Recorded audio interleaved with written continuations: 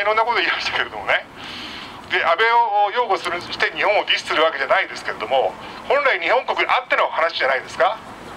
ね、そういうようなあのー、日本のこれから将来もちろんこれからもずっとねお米を作って、えーえー、いってですねこれ日本の要するにお米の場合はですねあの産官活動であったりだとか、えー、そういう土地をですね統合してですね新しい形でですね進めていって補助金等ですねまあ、あの大きなスケールメリットのあるところとそういう産官過疎でですね治水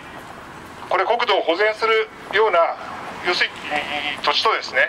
どんなようなあどのような仕組みを持って分けてですね、えー、政策を行っていかなきゃいけないのか。そうしなければですね日本の農業もちろんどんどんどんどん壊れていく。そしてあの治水の面においてもですねこういう風私たちは川下にいてですねその恩恵をすごく扱っているのに何一つそういう農業や、えー、里山の方たちにですね何の理解もなくて安いお米であればいい。経済がです、ね、突出すればそれでいいんだと。自分の利益さえ守れればいいんだと。こんなことでですね恥ずかしくないですかと。日本国民でしょと。で私たちは一番まあねあの長く国家としてですねあのずっと続いてきてその里山を守ってきて土地を守ってきて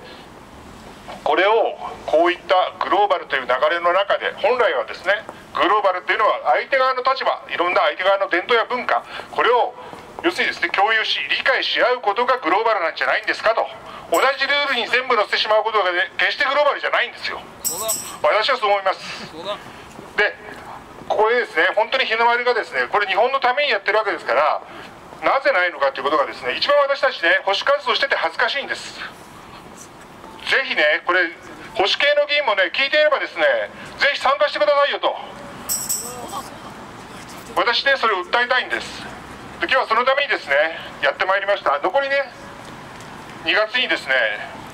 までですねニュージーランドですか？そういうような国民で国民よくね知ら知られてないんじゃないかなと。でこれ何の要するに概要も知られてなくてねどう,、まあ、どういったものかなとすごく疑問に思っています。これ農業もそうですけどもいろいろなですね例えば工業にしてもせよでもですねいろんなさまざまなルールが変わるんであればですね安倍内閣はですね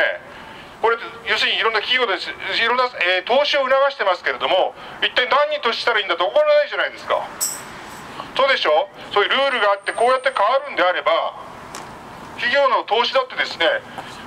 今まで要するにいろんな作物を作ってきてもですね明日からですね要するに完全に枠を取っ払ってですね自由競争でさらされなきゃいけない。そういった場合ですね私たちどうやって、えー、そのさまざまなものをね投資したりですね守っていかなきゃいけないのかということです。これぜひね皆さんで